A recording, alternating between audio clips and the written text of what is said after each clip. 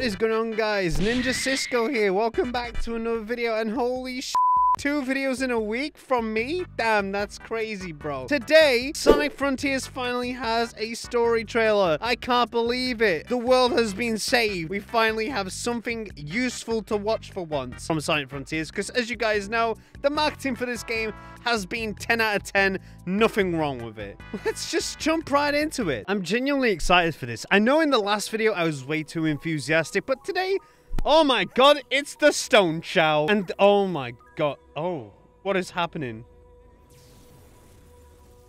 Oh, jeez. A mysterious stranger. It's literally Sonic. Oh, it's actually female Infinite. Never mind. Oh, that's crazy, bro. It's Sonic Generations remastered. A wondrous world. Oh, there's different islands. Well, I mean, knew about the islands, but never saw them before. I saw... Oh my god! Sonic's not real! He's AI generated. This is crazy. What the heck is going on here? Whoa!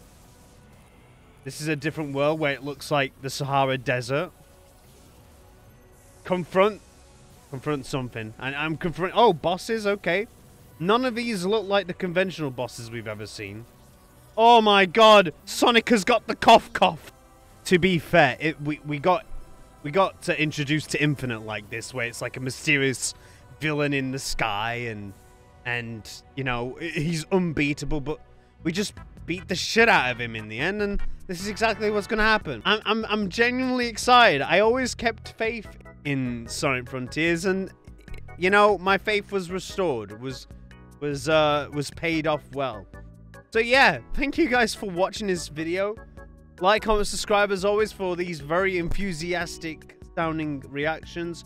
And, and I'll see you guys in the next video. Bye-bye!